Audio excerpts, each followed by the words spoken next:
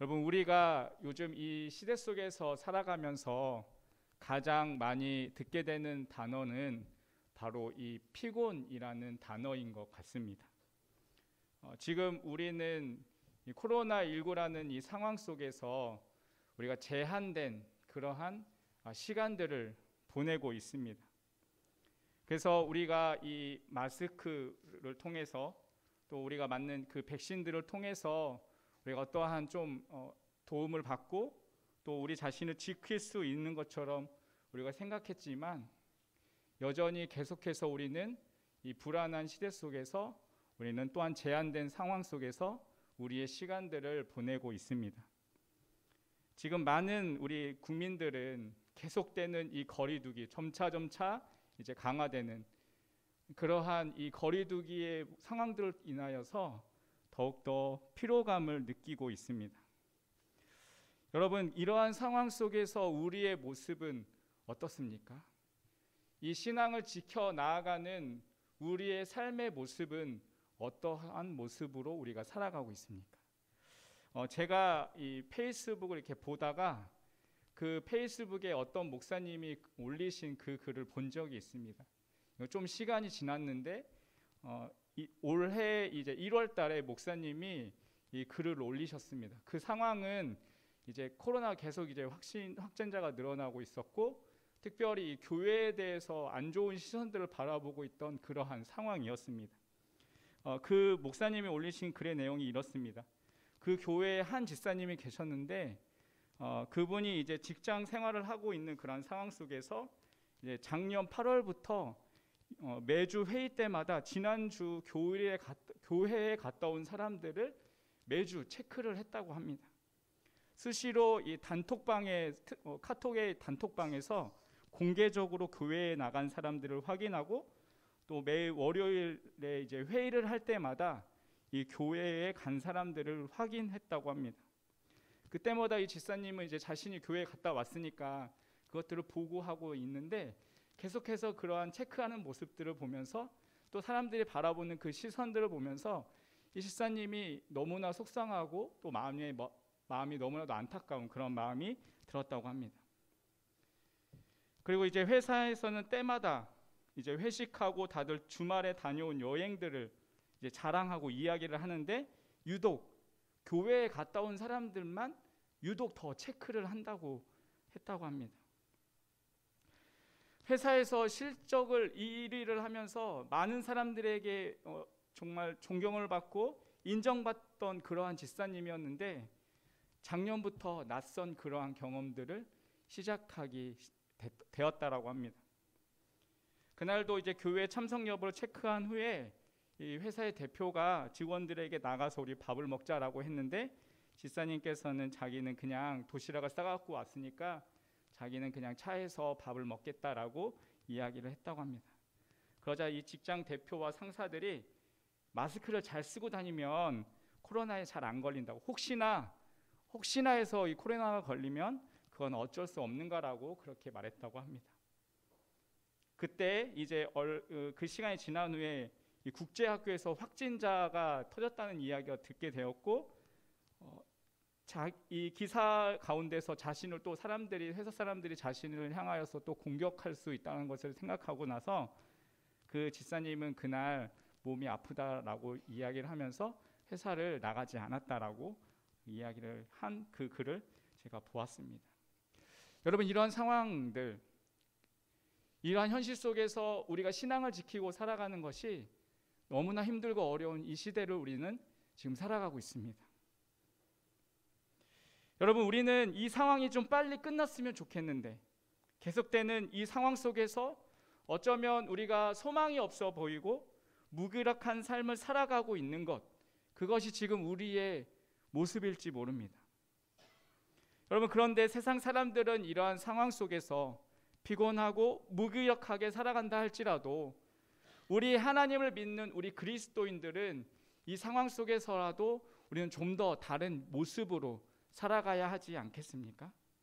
우리 그리스도인들은 정말 우리가 피곤하고 지쳐 있는 이러한 상황 속에서 정말 하나님만을 믿고 살아가는 삶의 모습이 어떠한 것인지 우리가 그러한 삶의 모습을 보여줄 수 있는 그러한 우리의 모습이 되시길 바라겠습니다. 뭐 오늘 본문에도 보면 정말 이러한 피곤함 가운데 정말 소망이 없어 보이고 절망 가운데 있는 그러한 이스라엘 백성들의 모습을 우리에게 보여주고 있습니다. 이스라엘 백성들은 바벨론의 포로 잡혀가서 70년이라는 그 긴 시간 동안 남의 나라에서 속박되어서 살아가고 있었습니다. 남아, 남의 나라에서 포로로 살아간다는 것은 얼마나 힘겹고 어려운 모습이겠습니까? 우리나라도 일제 치하의 모습 속에서 참 우리의 자유가 빼앗기고 억압된 그러한 생활, 상황 속에서 우리나라도 지나왔습니다. 그렇게 지금 이스라엘 백성들은 바벨론의 포로로 70년간 살아오면서 그들의 모습은 지칠 대로 지쳤을 것이고 또한 모든 것들의 소망이 사라져 버렸을 것입니다. 그렇게 그 소망이 사라져 버려 있고 지쳐 있는 그러한 그들에게 하나님께서는 다시금 그들에게 말씀하시고 힘을 주시고 또한 용기를 주셔서 그들이 다시금 일어나서 회복되어지도록 하시는 그 말씀이 오늘 본문의 말씀입니다. 여러분 오늘도 오늘 우리도 지쳐 있는 또한 힘이 빠져 있고 또한 소망이 없어 보이는 이 상황 속에서 이스라엘 백성들에게 하나님이 하신 이 말씀을 우리가 다시 한번 붙잡고 우리도 함께 힘을 얻어 일어설 수 있는 그러한 우리의 삶이 되시길 주님의 이름으로 축원드리겠습니다. 여러분 그렇다면 우리의 이 피곤한 인생 가운데 우리가 다시금 어떻게 일어설 수 있을까요? 그것은 바로 하나님을 악망해야 하는 것입니다. 여러분 악망한다는 것은 무슨 말입니까? 바로 하나님을 바라보아야 한다라는 것입니다. 지금 이스라엘 백성들은 포로로 잡혀왔습니다.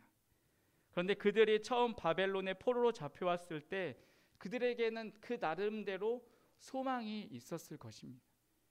지금 우리가 이렇게 포로로 지금 바벨론에 잡혀왔지만 분명히 하나님께서 이 선지자를 통해서 회복하신 그 말씀이 있으니까 분명히 우리는 다시금 그 우리의 나라로 돌아갈 것이다. 이 포로의 생활은 곧 끝날 것이고 이제 이 포로의 생활이 끝나면 우리가 다시 이제 예루살렘으로 돌아가서 그 예루살렘 성전에 올라가서 하나님을 예배할 수 있게 될 것이고 또한 우리 다시 흩어져 있던 우리 가족들을 다시 만날 수 있을 것이고 그래서 우리의 삶이 다시금 회복될 수 있을 것이야 그러한 소망이 그들 가운데 있었을 것입니다. 그런데 이제 점점 점점 시간이 지나가게 되었습니다. 시간이 지나가고 지나가다가 이제 70년이라는 그러한 시간이 지나갔습니다. 여러분 이렇게 이 기다렸던 시간들이 계속해서 지나가게 되니까 그들 마음 가운데 기대가 어떻게 되었을까요? 처음에는 소망을 가지고 기대를 가지고 있었지만 시간이 점차 점차 지나가면서 그 소망은 잃어버리게 되고 기대도 어 이제 포기하게 되어지고 그의 삶들이 모든 것들을 이제 포기할 수밖에 없는 그러한 상황이 되었던 것입니다. 그들 나름대로 정말 꿈을 가지고 소망을 가지고 어떻게든 이 상황들을 견디며 이겨 나아가려고 했지만 그 꿈이 점차 점차 무너지게 되었습니다. 그래서 그들은 이제 하나님 앞에 불평하기 시작합니다. 오늘 본문의 27절에 보면 그들이 이렇게 원망합니다. 20절에 보면 야곱 내가 어찌하여 말하며 이스라엘아 내가 어찌하여 이르기를 내 사정은 여호와께 숨겨졌으며 원통한 것은 내 하나님에게서 수리하심을 받지 못한다 하느냐라고 그들이 원망하고 있습니다. 여기 여호와께 숨겨졌다라는 말은 여호와께서 나의 사정을 모르신다라는 그러한 것입니다. 지금 내가 이렇게 고통당하고 있는데 하나님은 지금 나의 이 상황들을 모르고 있다라는 것입니다. 그리고 내 하나님께서 수리하심을 받지 못했, 못한다라는 이 말은 내가 마땅히 누려야 할 그러한 권리가 있는데 내가 지금 이렇게 포로 생활을 하고 억압받는 그러한 상황 속에서도 내가 누려야 할 권리가 있는데 하나님께서는 나의 이 모든 이러한 권리들을 지켜 주시지 아니하시고 마땅히 누려야 할 권리도 누리지 못한다라고 그렇게 지금 그들이 원망하고 불평하고 있는 것입니다. 그들 소망 가운데 있었지만 그 소망이 점차 점차 시간이 지나면서 하나님은 이제 나를 알지 못해. 하나님이 나의 이 상황들, 이 사정들을 하나님이 살펴주시지 않아. 하나님이 나를 돕지 않는 것이야 라고 그렇게 불평을 하고 있는 것입니다. 여러분 지금 이스라엘 백성들의 모습을 보면 이러한 원망, 이러한 불평이 나오는 것이 어쩌면 당연한 것처럼 보입니다. 여러분 우리도 어떠한 일들을 가지고 기도하고 또한 하나님 앞에 나아갈 때 뭐 잠깐 뭐 한 달이라는 그런 시간이라도 우리가 응답되지 않으면 우리도 우리 마음 가운데 좀 이러한 원망이나 불평한 모습들이 드러나지 않습니까? 그런데 이스라엘 백성들은 뭐 한 달이 아닙니다. 70년이라는 그 시간 동안 하나님 앞에 울부짖고 하나님의 그 소망을 기다리면서 그렇게 하나님께 기도했지만 70년이 되도록 하나님의 말씀은 없는 것 같이 마치 하나님이 계시지 않는 것 같은 그러한 상황이었던 것입니다. 그러한 상황 속에서 하나님께 원망하는 것이 당연한 것처럼 보입니다. 그런데 우리가 한번 생각해 보아야 할 것이 있습니다. 여러분 여기에 항아리가 있습니다. 이 항아리에 물을 가득 부었는데도 물이 채워지지 않습니다. 왜 그런지 한번 살펴보니까 그 항아리 밑에 독이 깨져 있었던 것입니다. 그러면 우리 우리는 왜 물을 채워도 채워지지 않, 않아라고 원망하고 불평하는 것이 아니라 왜 물이 채워지지 않는지 그 원인을 살펴보고 아 그러면 항아리에 이렇게 보니까 이 밑이 깨졌구나. 그러면 그 밑 독을 잘 메우고 채워서 이렇게 물을 부어야지 그 항아리에 물을 가득 채울 수 있지 않겠습니까? 문제의 원인을 찾고 그 문제의 원인을 해결해야지 그것들이 이제 어, 해결되는 것인데 그냥 물이 채워지지 않는다고 원망하고 불평하고 있으면 안 된다는 것입니다. 지금 이스라엘 백성들의 모습도 바로 이러한 모습과 마찬가지입니다. 지금 왜 자신들에게 이러한 일이 벌어졌는지, 지금 그들이 왜 이러한 어려움들을 겪고 있는지, 이 시간들을 왜 보내고 있는지 자신들의 모습들을 생각해 보고 있어야 하는 것입니다. 그 일에 대해서 생각해 보지 않고 왜 하나님께서는 이 70년이라는 시간 동안 나의 삶을 이렇게 힘들고 어렵게 만들고 있는가? 하나님은 왜 계시지 않는 것처럼 그렇게 아무런 대답도 하지 않으신가? 그렇게 원망하고 불평하고 있다라는 것입니다. 그런데 여러분 하나님은 이들을 향해서 어떠한 마음을 가지고 계실까요? 27절에 다시 한번 보시면 27절에 하나님은 야고바 내가 어찌하여라고 말씀하고 있습니다. 하나님께서는 이스라엘 백성들의 그 불평들을 들으시고 아 그래 니네가 정말 70년이란 그 시간 동안 그렇게 힘들고 어렵게 지냈는데 이렇게 불평할 수 있을, 있을 거야 라고 하나님이 그들의 마음을 알아주시는 것이 아니라 하나님께서 뭐라고 말씀하고 있으십니까? 너는 왜 불평하고 있느냐라고 말씀하고 있습니다. 그렇게 말씀하시는 이유가 무엇입니까? 28절의 말씀을 통해서 하나님이 이렇게 말씀하십니다. 28절에 보시면 너는 알지 못하였느냐 듣지 못하였느냐 영원하신 하나님 여호와 땅 끝까지 창조하신 자는 피곤하지 아니하시며 곤비하지 아니하시며 명철이 한이 없으시며라고 말씀하십니다. 하나님은 영원하신 하나님이심을 말씀하고 있습니다.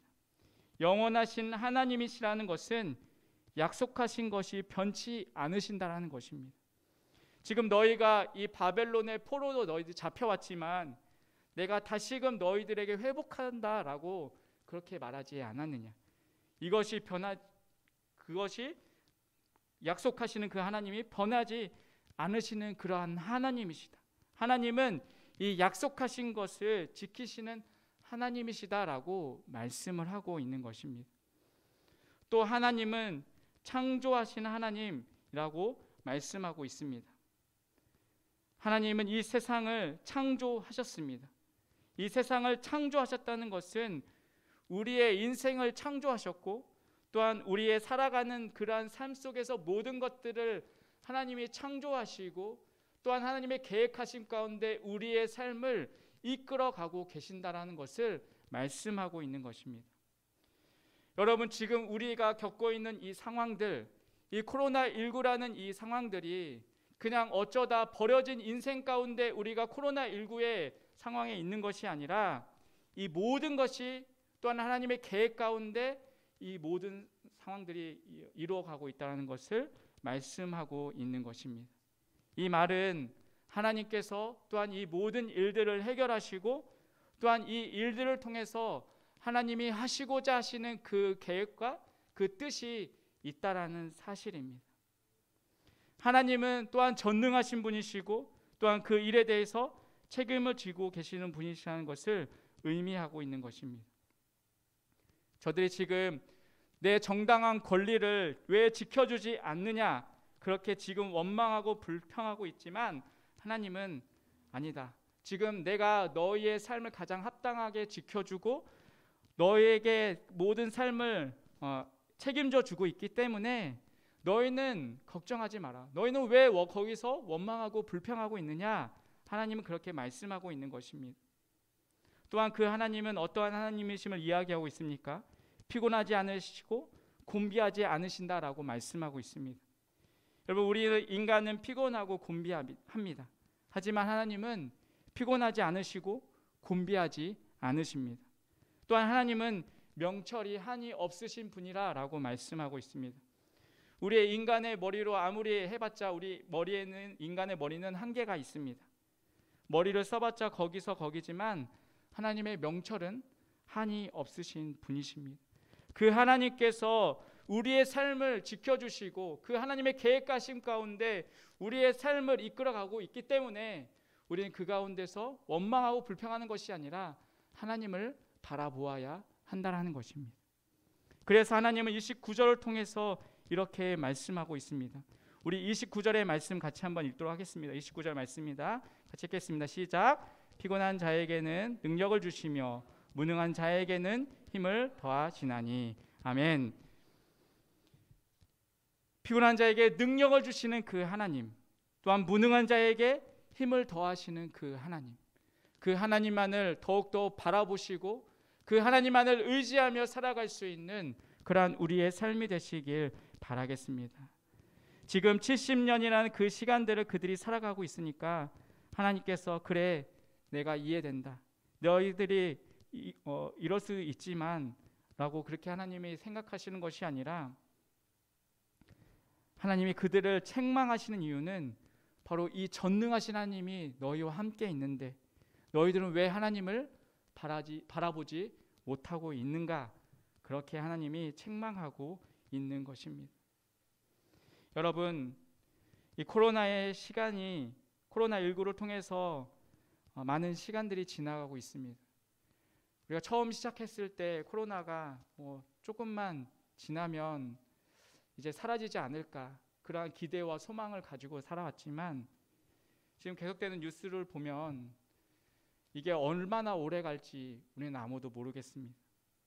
그러한 시간들을 지나면서 우리에게 점차 점차 이 코로나 19로 인한 피로감들이 우리에게 많이 다가오고 있을지 모르겠습니다. 여러분 우리는 이러한 상황 속에서 우리도 아무런 생각도 없이 그냥 무기력하게 혹시 살아가고 있지는 않습니까? 어쩌면 이 코로나로 인하여서 불평하면서 원망하면서 하나님 이 코로나가 이제 2년이라는 시간이 지났는데 얼마나 우리가 더 기다려야 합니까? 얼마나 우리가 더 고통과 어려움 속에서 내가 살아가야 합니까? 그렇게 원망하고 불평하고 있는 모습이 우리 가운데 있지 않습니까?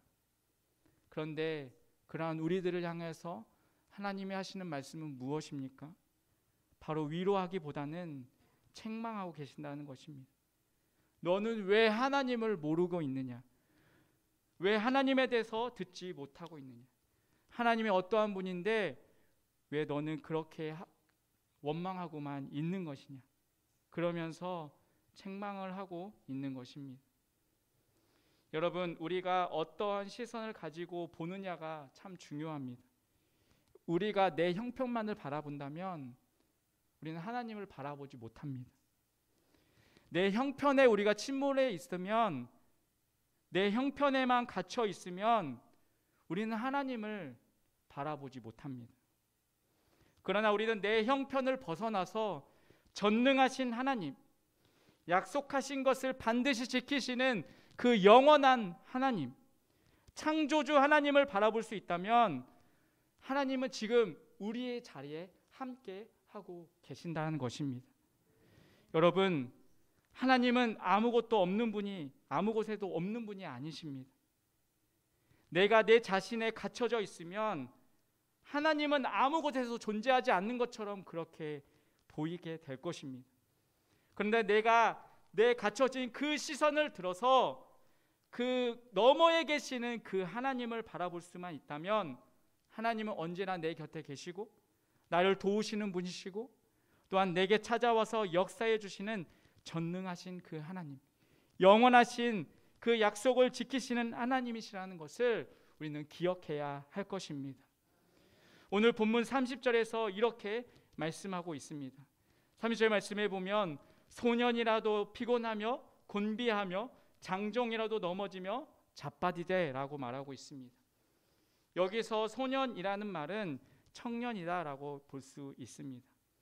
여러분 가장 어, 이, 우리 가장 왕성할 때가 어느 때입니까? 바로 청년의 때이지 않습니까? 우리 다들 청년의 때가 있으셨죠? 왕년에. 그래서 제가 이제 어, 젊었을 때도 이제 들었던 말, 말, 이야기가 뭐냐면 내가 너 때는 너 때는 말이야 돌도 씹어 먹었어 막 이렇게 얘기하고 그렇게 우리가 이제 청년의 때 그렇게 왕성했던 때가 바로 청년의 때입니다. 그런데 그렇게 가장 왕성한 청년의 때라 할지라도 피곤하기도 하고 곤비하기도 한다는 것입니다. 아무리 장정이라 할지라도 넘어지고 쓰러질 수 있다는 것입니다. 그런데 31절의 말씀을 통해서 하나님은 이렇게 말씀하고 있습니다. 우리 31절 말씀 같이 읽겠습니다. 시작. 오직 여호와를 앙망하는 자는 새 힘을 얻으리니 독수리의 날개치며 올라감 같을 것이요 다른 박질하여도 곤비치 아니하겠고 걸어가도 피곤치 아니하리로다. 아멘. 여러분 오늘 말씀을 통해서 하나님 말씀하시는 것이 무엇입니까? 오직 여호와를 앙망하는 자에게는 새 힘을 주시겠다라고 말씀하고 있습니다. 그래서 독수리가 날개치며 올라감 같을 것이고 그리고 다른 박질하여도 피곤하지 않고 걸어가지 않아도 걸어가도 피곤하지 않다라고 말씀하고 있습니다. 아무리 소년이라도 장정이라도 넘어지고 쓰러지는데 오직 여호와를 앙망하는 자는 독수리가 날개쳐 올라감 같이 올라갈 것이고 달려가도 곤비치 아니하고 걸어가도 피곤하지 않겠다라고 하나님이 말씀하고 있는 것입니다. 여러분 우리 모두가 코로나19로 인해서 힘겹고 어려운 시간들을 지나가고 있습니다. 아무리 소년이라도 장정이라도 피곤하고 넘어지고 쓰러지는 이 시간들을 우리가 지나가고 있습니다. 그러나 여러분 우리가 오직 여호와를 앙망한다면 그 여호와 하나님을 바라볼 수만 있다면 우리는 소년도 넘어지고 장정도 넘어지지만 하나님을 우리가 그 가운데서 열망하며 바라볼 수만 있다면 우리는 독수리 날개쳐 올라간 같이 올라갈 것이고 또한 다른 박질하여도 곤비치 아니하고 걸어가도 피곤치 아니하는 그러한 인생을 우리가 걸어갈 수 있게 될 것입니다. 여러분 여기서 어, 악망한다라는 이 단어는 히브리어로 카바라는 그러한 단어를 사용하고 있습니다. 이 말은 기다린다, 신뢰한다라는 그러한 뜻을 가지고 있습니다. 그러니까 여호와를 악망한다라는 말씀은 여호와를 기다린다, 여호와를 신뢰한다, 끝까지 그분에 대한 믿음을 잃지 않는다라는 그러한 뜻을 가지고 있는 것입니다. 여러분 그분은 변하지 않고 여전히 그 2000년 전에 죽은 나사로를 살리셨던 그 주님이 지금도 우리의 인생 가운데 죽어져 있고 쓰러져 있는 우리의 인생을 다시금 주님께서 일으켜 주시고 살릴 수 있는 그 주님이라는 것입니다. 그 영원한 주님, 그 하나님을 온전히 신뢰하고 그 하나님을 바라보며 살아갈 것을 우리에게 말씀하고 있습니다. 그 주님을 신뢰하며 그 주님을 바라볼 때 우리는 독수리쳐 올라갈 같이 올라갈 것이고 다른 박질하여도 곤비하지 아니할 것이고 걸어가도 피곤하지 않게 될 것입니다. 여러분 계속되는 코로나로 인해서 우리가 힘겨운 삶이 계속되어져 가고 있습니다. 이 마스크나 어떠한 백신을 통하여서 나의 삶을 보호하고 지키는 것이 전부가 되는 그러한 삶의 모습이 아니라 우리는 이때에 더 바라보아야 할 것이 무엇입니까? 오직 여호와를 악망하시기를 주님의 이름으로 축원드리겠습니다. 그렇게 여호와를 악망하는 자에게는 하나님이 새 힘을 주실 것이고 또한 그 여호와를 악망하는 자에게는 다시금 그 자리에서 회복시켜서 일어나게 해 주실 것이고 여호와를 악망하는 자에게는 달려가도 걸어가도 피곤하지 않도록 하실 것입니다. 여러분 지금 우리는 더욱 하나님을 바라보아야 할 때입니다. 우리가 그 하나님을 바라보고 하나님을 악망할 때 하나님께서는 우리의 삶을 붙잡아 주시고 우리의 삶을 인도에 가실 것, 인도에 가실 것입니다. 여러분 그 은혜를 더욱더 하나님의 그 축복된 은혜를 누리며 살아갈 수 있는 그러한 우리의 삶이 되시기를 주님의 이름으로 축원드리겠습니다. 기도하겠습니다. 하나님 아버지 오늘도 우리에게 말씀을 주시고 은혜 받게 하여 주시니 감사합니다. 우리의 삶의 형편과 현실에 갇혀 갇힌 그러한 삶의 모습이 아니라 그 상황을 뛰어넘어 오직 하나님만을 악망하며 살아가게 하여 주시옵소서. 그 믿음으로 살아갈 때 오직 하나님이 주시는 힘과 능력으로 독수리가 날개쳐 올라간 같이 힘차게 믿음으로 승리하는 삶이 되게 하여 주시옵소서. 예수님의 이름으로 기도합니다. 아멘.